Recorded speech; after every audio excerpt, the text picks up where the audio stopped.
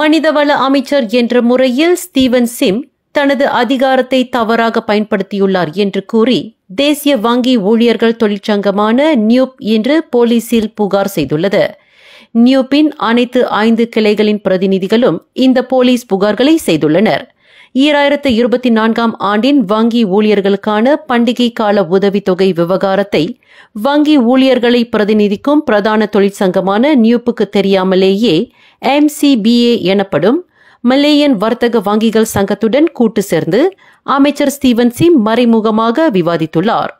வங்கிகள் தனது ஊழியர்களுக்கு ஒரு மாத சம்பளத்தை பண்டிகை கால உதவித் தொகையாக வழங்குவதற்கு கடந்த ஈராயிரத்து இருபத்தி மூன்றாம் ஆண்டு ஏப்ரல் மாதம் எம்சிபிஏவுடன் நியூப் இணக்கம் கண்டு கையெழுத்திடப்பட்ட கூட்டு ஒப்பந்தம் நடைமுறையில் உள்ளது.